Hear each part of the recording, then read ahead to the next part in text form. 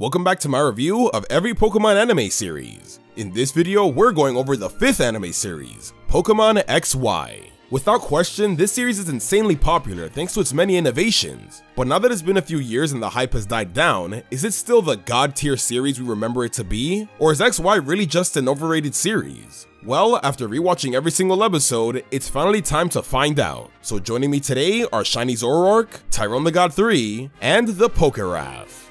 What's up everyone, Shiny Zoroark here, aka Zoro. Hello everybody, Tyrone the God 3 here. Hey, what's going on guys? My name's Raph, and you won't be kicking me out this time. Anyways, like the black and white review, we'll be going over a list of individual topics, going over the pros and cons of each, and then wrapping things up with the final verdict. So without further ado, grab some popcorn, grab some cookies, and let's get started with our retrospective review of the Pokemon XY anime.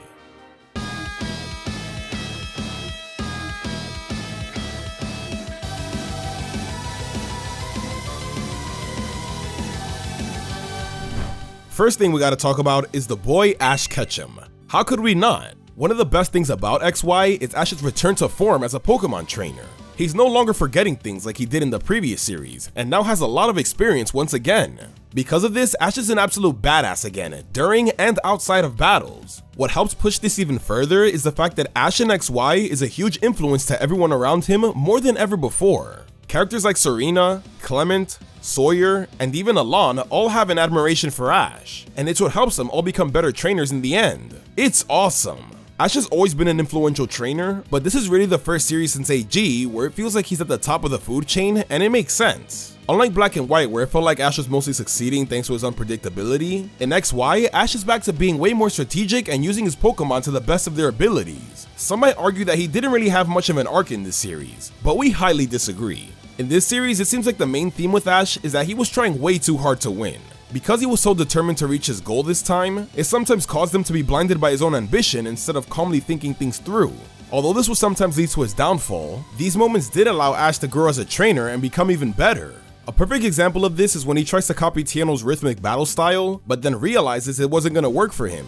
There's also the battle against Ramos where Ash felt overwhelmed and almost lost, but was able to turn things around once he was able to calm down and come up with a new strategy. And how could I leave out the biggest example, when Ash got cocky and became too over-reliant on the Ash Greninja transformation. The minute he started to focus more on the power of the transformation instead of being in sync and working with Greninja, was the moment he began to fail and eventually doubt himself. But thanks to a certain person, Ash is able to snap back to reality, master the transformation, and finish his Kalos run as a way better trainer than the one he started off as. This kid's got a lot of style.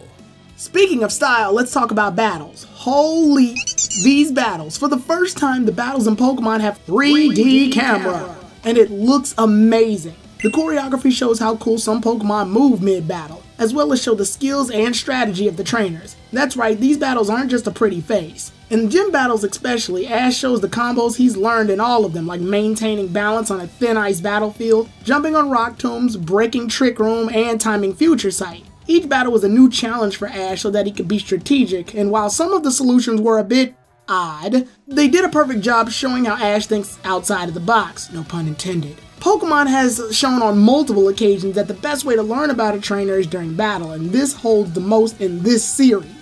You can see the growth in battles, like when Clemont came back to the Lumiose gym and battled Clembot with Bunnelby and beat his experienced Heliolisk using out-of-the-box combos he learned from watching Ash. One of my favorite moments is when James's Inkay blinded Pikachu and Ash was Pikachu's eyes for the battle. If you watched the OG series and saw how Pikachu was useless in that fight against Koffing under the same conditions, it really shows us how Ash has grown as a trainer, or how Serena was disguised as Ash and was able to hold her own against Jimmy with his Pikachu.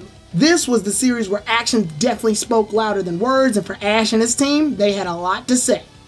Ah yes, the famous Kalos team. Most would argue that prior to the Sun and Moon series, Ash's Kalos team was the best team yet. There's a lot of things to consider with this team, and it's more than just strength, cool designs, and personality, but also development. From its debut as a fletchling, Talonflame has always had a strong willpower and been keen to show off its power. It received a nice piece of development during the Sky Battle episode thanks to Bonnie's motivational words, saying that size doesn't matter. These words later on gifted us with Fletchling evolving and taking down its final stage evolution. Speaking of which, let's not forget where we saw Talonflame in full flaming force, having the power to go head to head with the legendary bird Moltres. It was such an outstanding evolution segment for one of Ash's coolest and strongest birds.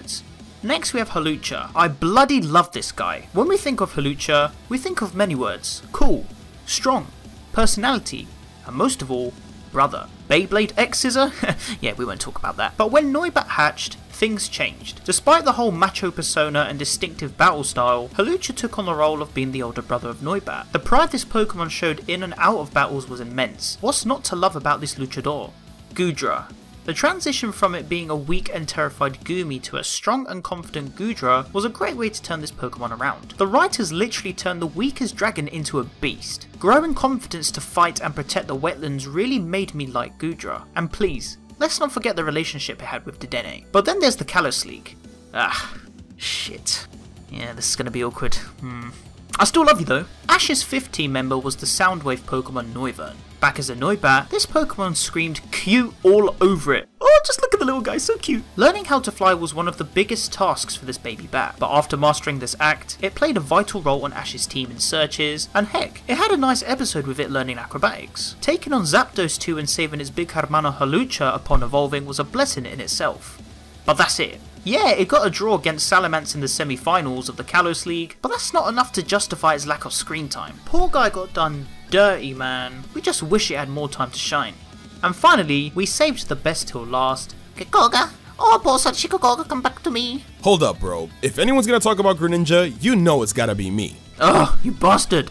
Now I don't gotta tell you, but I'm gonna do it anyways. Greninja is awesome. What's great about Greninja is that it was a Pokemon that was looking for the right trainer to bring out its true power, and it found that with Ash. Even before the whole Bond phenomenon stuff came into play, it's just always been a very reliable Pokemon. I think it's due to the fact that it's the Pokemon that is the most like Ash. Greninja hates to lose, and loves to train and battle more than anything else, so these two were a perfect match. It was so cool seeing it go through its different evolutionary stages. And it even got some great development episodes whenever the gang ran into Sanpei and his Greninja. This all culminated into their final meeting, where it not only fully evolved, but also, for the first time, tapped into its new form, Satoshi Gekkouga. Ash and Greninja would then have an awesome training arc dedicated to mastering the form, and it's what helped Ash take him all the way to the Kalos League finals. And yeah, he might have failed us all in the end, but then right after that, it redeemed itself by saving the freaking world. A true chat hero if you ask me.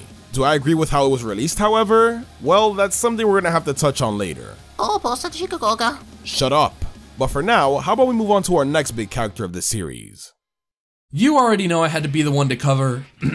Serena! Now, this character has become one of the most controversial people in the entire Pokemon anime, and that's mainly because of her fans. But we're here to talk about the character, not the fans, and honestly, there's a lot of good things about Serena. For one, she has a relatively unique motive, and that's because of her crush on Ash. That's why she started her journey in the first place, and as much flack as Amourshipping gets, when I rewatch some of these moments, I realize it's not as in your face as I remembered. They actually use the romance for some great developmental moments throughout the series, and I found myself enjoying them a lot more when I was able to analyze the scenes instead of just being like, ooh, more shipping confirmed, ah! Now, Serena isn't perfect. While I think her struggling to find a goal in the beginning was a good direction to take her, I can't lie, it did take a little too long for them to establish her goal. I mean, nearly the whole first season she was just there and didn't do much at all. Another complaint is the personality shift from before and after she cut her hair. While I understand that the haircut was a big moment that really kicked off Serena's new era, I did feel as if the sassy parts of her personality were somewhat lost after. I get she was maturing, but the change was somewhat abrupt, that's all I'm saying. Speaking of the haircut though, that really was a pivotal moment in her development. I think you saw a lot of confidence in her after. A lot of people know this, but in Japan, a major hairstyle change like that actually symbolizes the end and beginning of an era in a person's life, and I think they executed that nicely with Serena. Briefly talking about her Pokemon though, we have her starter Braixen, Pancham, and also Sylveon. Now, nothing against these Pokemon, but I kinda wish she had more than three. I know they wanted it to be a smaller crowd for performances, but it would have been kinda cool to see her have a wider group of Pokemon to choose from like some of the other female companions. Also, I think they wrapped up her character nicely in the end, and this again ties with Amourshipping, but I think it's somewhat poetic that her entire journey centered around Ash because he's why she started. But by the end, she gained the courage and confidence to forge her own path in life separate from it. Then we have Pokemon Showcases, a huge part of her character, so I'll go ahead and turn it over to Zac for this topic.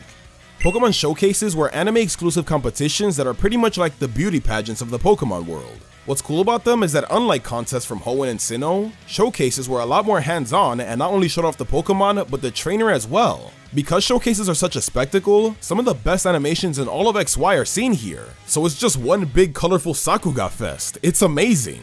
On top of looking great, it's also really cool that a lot of the first round theme performances or activities Serena already has experience in prior to her entry to showcases. It really relates back to what Ash said at the summer camp about how everything they do will help them reach their goals. As cool as this was though, I will say that it's also a little too convenient. Pokemon styling, Pokepuff baking, and even Rhyhorn herding? Nah, this shit's rigged, man. That's just a minor nitpick though. If you want to get into some serious issues with showcases, then we gotta talk about how rushed they felt. First of all, you only need 3 Princess Keys to make it to the Master Class. That already makes Serena's goal extremely short because of how little she had to work to win.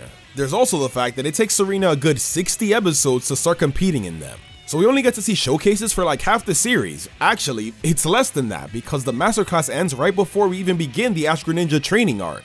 In my opinion, if showcases were introduced earlier on, it would have been way better. Pokemon contests were done well because they were always intended to play a big role in the AG and DP anime. Showcases, however, feel like an afterthought, like it's something they came up with along the way. This is actually made pretty obvious thanks to Aria. In the first Pokevision episode early in the series, Aria is said to be a famous pop star, or whatever. But then, when showcases are finally revealed during the summer camp arc, it's now revealed that Aria is known for becoming Kalos Queen. How convenient. You see what I mean? Why couldn't they just mention this in her first appearance? In the end, the showcases are fine. They just don't feel and aren't treated nearly as important as contests were. And I hate to keep comparing the two, but let's be honest, they were kinda just Contest 2.0. Alright, now let's talk about Clemont. So, full disclosure, I love the XY gang, but if I had to choose a least favorite, it'd be Clemont. Poor guy. He unfortunately was stuck in the Brock position where he cooks for the group and gives exposition to Serena during battles and has the running joke along with Bonnie. But if you look at his accomplishments before meeting Ash, Clemont has his own level of respect. He invented the electric shower stations that are placed throughout Kalos, he worked on the programming in the Kalos power plant, and was even the top student at the Kuramine Academy. The major thing he lacked was courage and determination that he saw in Ash. This caused him to get kicked out of his own gym by Clembot, almost ruined the Lumiose gym's reputation. But since having a brother like Bond with Ash, he's gained the courage and skill needed to not only take his gym back from his invention, but regain the trust of Luxray and become a tough gym battle for Ash. Gym leaders that travel with Ash in some situations, Brock and Misty, usually get kicked to the curb in favor of Ash's growth. But here we get to see Clemont grow from the boy he was to the gym leader that grew to be. And it's great. He even takes some steps to make the newly caught Pokemon Bunnelby fit with his team by teaching it Wild Charge, in preparation for the battle with Ash. And Chespin, well, he was really just stale comic relief. But Clemont showed that he made his mark as one of Ash's toughest battles yet. Now, sadly, after their battle, the series does focus more on Serena, Ash, and Bonnie's characters, so Clemont does get pushed back a little bit. But his growth still shows in small doses. He's more assertive and confident in his inventions, and some of them do come through, like when he helped Ash and Greninja measure the wavelengths of the Bond phenomenon for, say the thing, Zac. Satoshi Gekkouga. He later confronted Team Flare by defending Prism Tower and was able to best Xerosic in a battle of science. He may be the weakest link in the XY group in terms of overall character, but he has plenty of it. The future is now thanks to him and science. Last but certainly not least out of the bunch, we have Clemont's little sister Bonnie. Bonnie brought a breath of fresh air to the group. She was funny, motivating, and most of all, caring to all of the people and Pokemon she interacted with. Her gentle and adorable personality really made us all go, oh. Might want to add the sound effect in that, bro. Bonnie's earlier episodes showed off how much she loved to pet Pokemon and would hope to aspire to become a Pokemon trainer herself in the future. Even though she is a child, the maturity level she had for her age was quite on form, and this was thanks to the nurturing of her older brother, even if she wanted to find him a wife and criticise his inventions at times. Now I know what you're thinking. But Raph, what about Max? He was a good companion too as well, right? Eh, I mean, he was okay. But in terms of Bonnie, there's a huge difference in what makes her stand out compared to him. There have been numerous episodes where Bonnie would motivate, care, and show off the personality of a Pokemon trainer. Examples of this would be motivating Fletchling in the Skybell episode, and if we move on to the Flabebe and Tyrunt episode, we can see how Bonnie looked after both of these Pokemon, protecting them from Team Rocket and reuniting them with their original trainers. We've even seen segments of Bonnie confidently commanding Dedenne and other Pokemon in battle situations, which for a little girl her size is pretty impressive. Now that's not to say Max didn't have all of these qualities either, but the key difference between Bonnie was her role in the series and how it had a prominent part overall, and that's thanks to Squishy. Compared to Z2, Squishy was living the life of Riley with Bonnie. It was thanks to Bonnie's soft and gentle character that Squishy learned to trust humans. While she is a little girl, the qualities she brought to the group and Pokemon around her will not only benefit them, but also herself. Even though there were times her childish behaviour got the better of her, she always knew when to snap out and betray maturity, and that's something that makes her special. She would make a great trainer one day. Next, let's talk about Team Rocket. They're a bit of a mixed bag in this series. When we get down to it, they're basically the same Team Rocket we had up until the end of the Diamond and Pearl series, but they don't appear every episode this time. Don't let me trick you though, because they still appear pretty often, and a lot of the time it's just as annoying as it used to be. When XY starts, they're badass. They pretty much wipe Ash and Clemont by using Wobbuffet, who just rejoined the trio. But after that, they kinda start the whole Garchomp ordeal, which, while those two episodes were amazing, it is a bit annoying Team Rocket went back to their usual shenanigans. Also, I know Black and White Team Rocket is a bit of a controversial topic, but after how different they were in that series, it was kinda lame that they regressed a little bit. That being said, there is still a lot of fun stuff with this group. Like I said, Wobbuffet came back and it was awesome because he's always felt like an iconic part of the group. I really like Jessie and James' relationships with their Pokemon also. For one, we have Inkay that James caught early in the series. This is one of the all-time best trainer to Pokemon relationships in the series, honestly. The best example is James managing to break through the hypnosis that Malamar cast onto his Inkay through their mutual bond, and later on in the same episode, that bond paid off as Inkay opted to stay with James instead of going off with a group of Inkay and Malamar. That was so wholesome. On the other hand, we have Jessie's Gourgeist. This Pokemon is pretty great as well. I really like the parallels between it and Jessie's personality, and this Pokemon also participates in Pokemon performances. Jessie competing in these is another good part of Team Rocket in the series, not only because it gives her a purpose for existing other than being in Team Rocket, but also because she actually participates in them without cheating for the most part. Unlike in past series with Pokemon contests, Jessie gets to the Master Class with completely legitimately earned Princess keys. Unfortunately, two out of those three keys were earned off screen, which sucks! But this shows that Jessie has taken the knowledge she learned from the past series and gotten better here because of it. Overall, Team Rocket is still a lot less annoying in this series than in the past, and while they did feel a bit samey, there was a lot of good from them this time around. Now, let's talk about summer camp rivals. After the Mega Evolution training arc with Korrina, the series took a well needed break with the summer camp arc, and with that, the introduction of the summer camp trio Trevor, Shauna, and Tierno. Unlike the other two, Trevor was done the worst compared to his game counterpart, sadly. He gets the least amount of episodes and his performance in the Kalos League was terrible with him getting swept in the first round. I will give him some credit though, he did appear in the Moltres episode, which is one of my favorite episodes in the series, and did master Mega Evolution, which, if we've seen from Korrina, was a feat of, of itself. It's a shame we didn't get to see at least a show of flashbacks for Trevor's struggles during his Alolan battle. I don't know, would have been a lot better than watching Ash battle the butthurt broski here, just saying. Then there's Tierno, who put Ash to a bit of a mental conflict. Tierno actually beat Ash in a brief introduction to Camp Battle, showing off his dance battle style. Which was so impressive Ash thought he could copy it, but we already know that was a fail. Tierno serves as a nice mid-rival for Ash. While not as strong as Alain and not being in the learning stages like Sawyer, he served to give Ash the competition he needed in order to stay sharp. Having three other battles with him later in the series and being a somewhat romantic rival of Ash's, if you want to put a more into it, eh. Speaking of that, there's Shauna, and I find this dynamic with Serena very interesting, considering that when they first meet, Shauna is the one who idolizes Serena because of her promo videos earlier in the series. Like, oh my god, girl, I saw you on the internet. Serena then gets introduced to what the Poke Showcase is. So, because of this, Serena actually takes interest in. You can basically say that Shauna's the Kickstarter for her finding a goal. So, for that, I respect her. Now, not to cut you guys short here, but while we're on the topic of showcase rivals, I feel there's a better person to fit into this topic, so I'll let Zoro take over from here. So other than Shauna, Serena still has a few main rivals. First off, we have Miette. Miette is actually a pretty cool character. A lot of the time there's some fun teasing between her and Serena because they both have a crush on Ash. I really like the baking contest when she gets introduced because yeah, there's her and Serena's rivalry, but they ended the episode on good terms. Like Tyrone said with Tierno and Ash, Miette served well as a driving force for Serena's improvement, both in performances and the other competition. Unfortunately, we never actually see her win anything on screen, but I think she was a welcome addition. The person I don't think is a welcome addition though is Nini!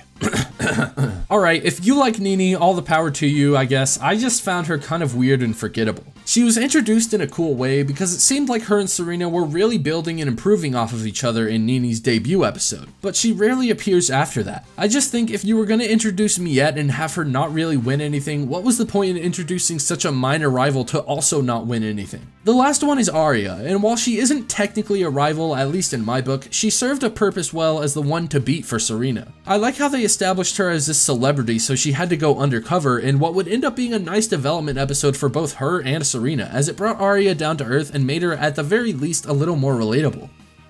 Now we move on to one of the bigger rivals of XY, Sawyer. He's basically Omega Ruby and Alpha Sapphire the character. Although introduced halfway through the series, he's still a fantastic rival for Ash. Honestly, his placement is perfect because he's pretty much an Ash fanboy. It's seeing the rookie Sawyer look up to our boy Ash and quickly work his way up to becoming an equal that makes this rivalry so satisfying. This plays an important part in the Ash Greninja training arc because it actually worries Ash when Sawyer manages to surpass him in gym badges. This rivalry wouldn't be as effective if he started his Kalos journey the same time as Ash. All of this, on top of having a Mega Sceptile that was a rival to Ash Greninja, is what really helped deliver an awesome battle in the Kalos League semifinals. It was pretty cool to get a friendly rival that didn't turn out to be a complete pushover in the end.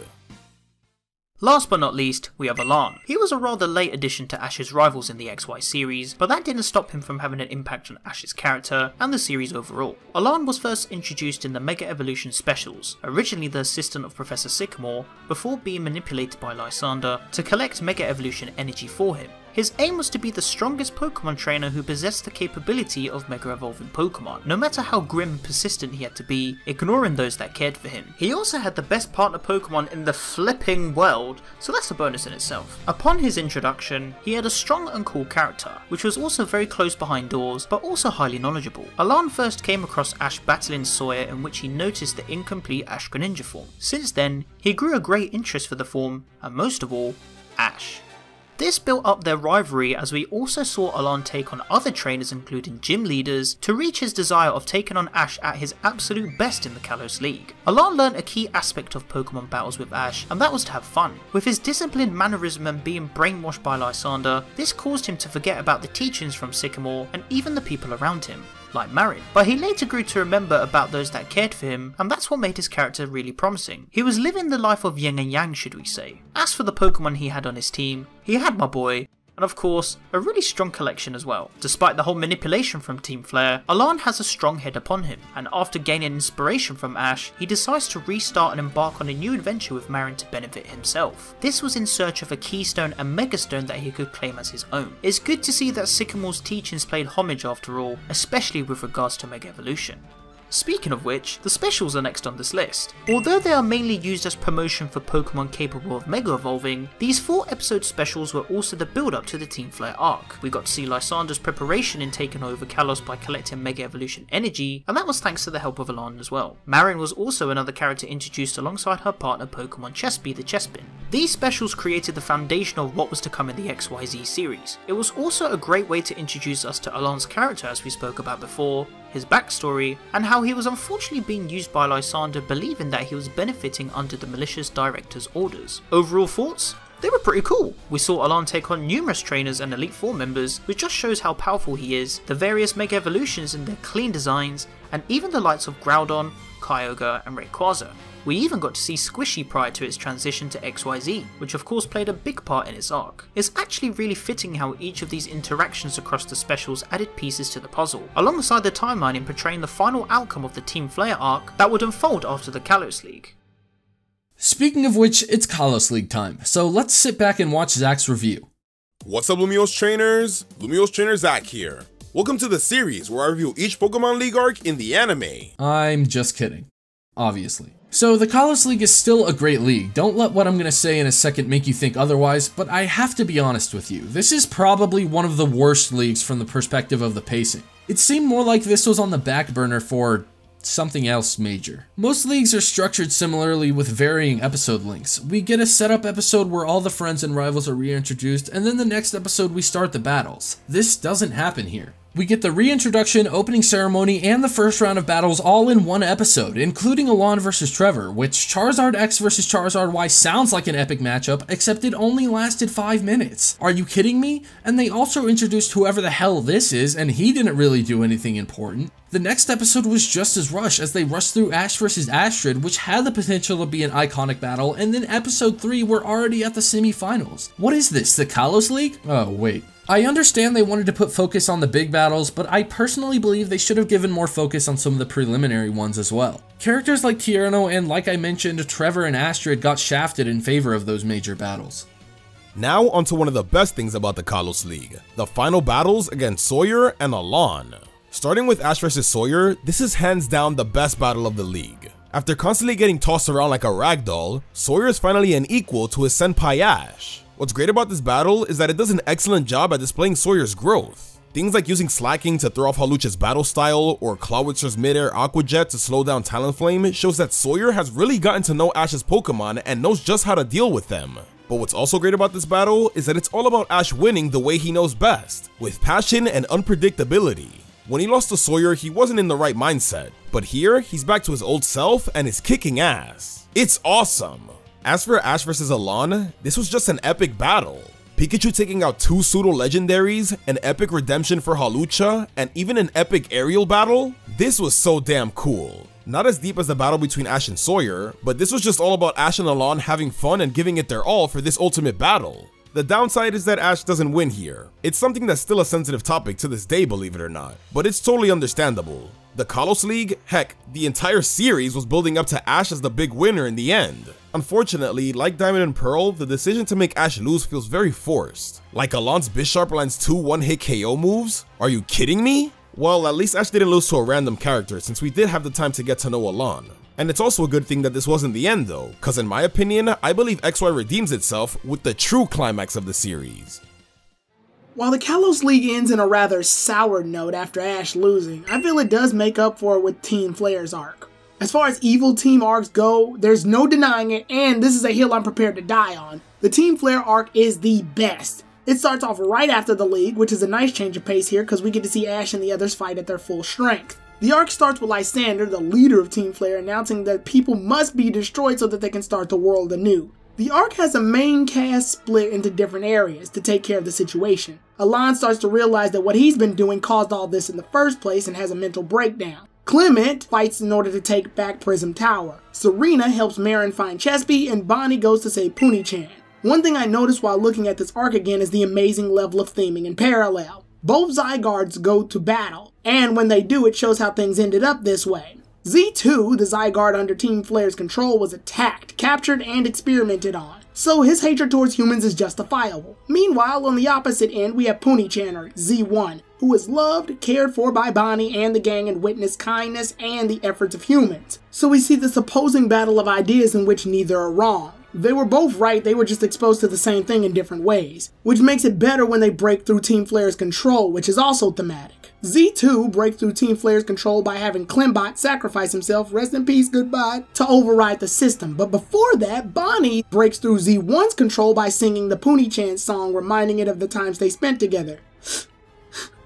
Shut up, you're crying. But both Zygardes released from their control, they were just released in different ways based on theme. Clemont's was science and Bonnie's was love. The two happened right after each other. The writing here is so good, oh my god. I'm not even done though. After Ash helps Alain get his head straight and they defeat Lysandre in battle, they go to save Chespie, and that's when we get all of the Kalos gym leaders. Seeing this plus Diantha and Steven Stone made me lose my mind. It's so cool to see everyone come together like this. Even Team Rocket puts in work saving Serena and Mairin while updating people in the news about what's going on. Such a beautiful moment accompanied by the Vivo theme and seeing an all-out war with Ash and the others fight off against the artificial Megalith Zygarde just puts everything I love about this series into one as they fight to prevent it from touching the sundial. all while Z1 convinces Z2 that this is the power of humans when they fight to protect something. This later allows Z2 to give in and join in the fight, fusing with Z1 in order to make 100% Zygarde. Let's just cut to the chase. This is straight up epic. In the games, we never got a proper story for Zygarde because Sun and Moon was announced too soon. And in the Sun and Moon games, we have a lame scavenger hunt to find all the cells. But here, here's a proper story with build up, and it delivers everything from Puni-chan meeting the gang to the Mega Evolution specials. It was all leading to this, and the payoff is beautiful. See, this is how you do an Evil Team arc. There was never a moment wasted in my opinion. But after talking with the others, I guess I gotta name a con.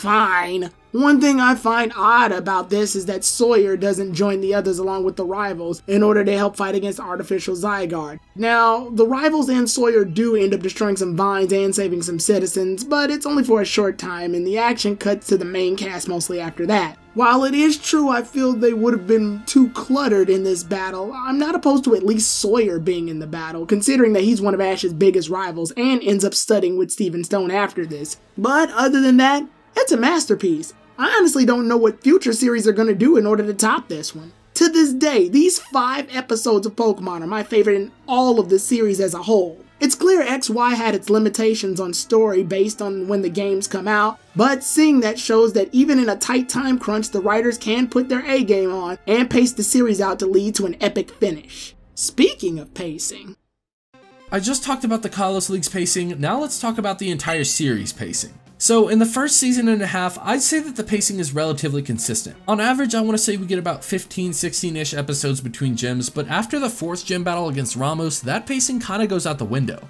Nine episodes after that, we get the amazing Lumiose gym battle, and then only six episodes after, we get the Valerie gym battle. Now, it's great that the battles happen so close to one another, but the problem is that because of it, there's a nearly 20 episode gap until the Olympia battle. Not to mention, the way showcases are placed into the plot is a bit weird, like Zac mentioned before. And another thing I noticed is Goodra's whole arc.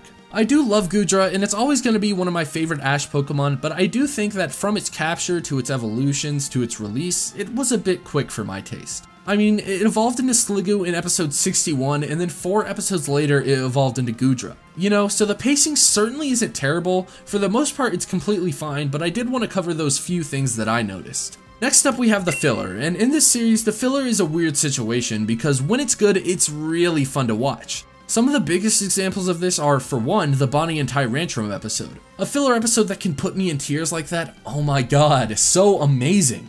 Wah wah, I'm Zora, wah, Bonnie and Tyrantrum, wah wah.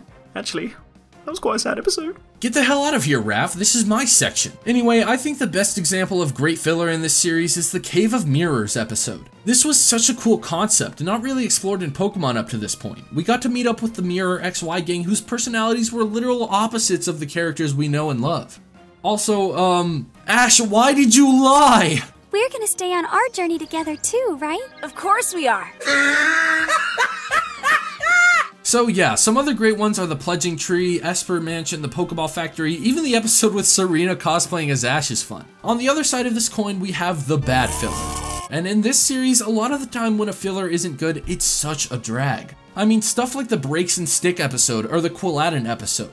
Who cares? It's just boring and bland, unnecessary, we didn't ask for it. So, like the pacing, the filler I would say can still be considered really good, but like any series, some is still really bad, and in this series, at least from what I noticed, it's either amazing or terrible with very little in between.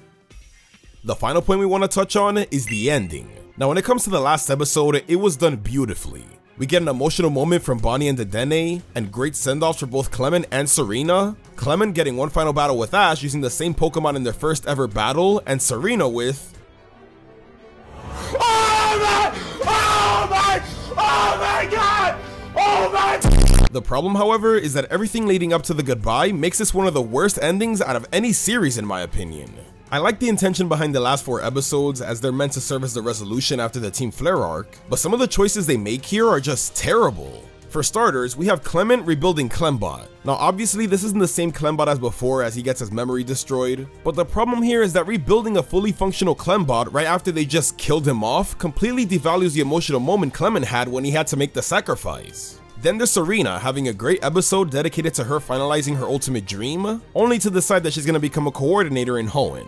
You're kidding me, right? This was so stupid in my opinion, because we spent all this time with the rushed and underdeveloped concept of showcases, only for Serena to jump into something that was already well established. It makes showcases seem even more relevant. Now yes, I get that her becoming a coordinator is supposed to help her become a better performer, but it just feels like a huge slap in the face to all the development she had when deciding to do this in the first place. Like it basically took Serena a whole series to do what May did in 13 episodes. Whoop-de-doo. Like if this was the case, then she should have just been doing contests from the beginning. And finally, the absolute worst thing to come from the ending of XY, releasing Greninja in the second to last episode. Like, what the f The reasoning behind this is just god awful. The Team Flare arc wrapped up everything perfectly, with Zygarde eliminating all the vines created by Lysandre, but then they want to bring them back for some reason and say that Greninja is the only one who can see and stop them? Really? Ash is Greninja and not two Zygarde whose job is literally to defend the earth? That makes no sense. What makes this even worse is that there was really no reason to do this. XY was already ending, and Ash was obviously gonna leave behind his Kalos Mons at Oak's lab, so he was already not gonna use Greninja anymore. All this did was complicate things if they ever want to bring him back someday. Thanks XY. Talk about dropping the ball last minute. And that wraps up all of our topics on the XY anime. Now time for the final verdict. To be honest, it's been a while since I've seen XY, but after rewatching every single episode, I was reminded of just how awesome this series is. One of the biggest aspects of the Pokemon franchise as a whole is the battling, and that's what's front and center in this series. Because of this, it was able to bring back many fans and even reignite their passion for the Pokemon anime. I mean, it's the ones that turned Ash into a complete badass and even took him to the Pokemon League finals for the first time. What's not to love? Oh, it's not just about the action though, because XY is really so much more than that. What really makes it work is its beautiful storytelling. Whether it's Serena and her relatable development, Clemens and his growth into becoming a more confident gym leader, Bonnie and her relationship with Squishy, Greninja and his quest to fulfill his destiny and become stronger, there's just so much to love and get invested in. Now that's not to say it's perfect, as there's no such thing as a perfect series, cause I'll admit, when the focus isn't on plot, the series can get pretty boring, but aside from that, like Diamond and Pearl, XY had direction and knew the story they wanted to tell from the beginning. They said, how can we take the typical Pokemon adventure and make it mean something? Make it grander? Make it epic? I'll tell you how. By building up to the fantastic Team Flare arc, where they gave it everything they had. So in conclusion, do I think XY is overrated? Not at all, honestly. Now sure, some of the diehard fans might go a little overboard defending this series, but I don't blame them. There was just so much done right here. Ash was the coolest he's ever been. The characters were lovable, his Pokemon were awesome, the battles were amazing, and the story was straight up epic. This is what many of us wanted out of a Pokemon series, and we got it with XY. This is how you turn the games into a freaking anime. Thanks for watching everyone, and special thanks to Zoro, Tyrone, and Raf for joining me. Also, thanks again to Spire and Silver Storm for some of the awesome covers. Last but not least, make sure to live your life to the fullest, and I'll see you next week for my review of the Sun and Moon anime. Zac is cringe.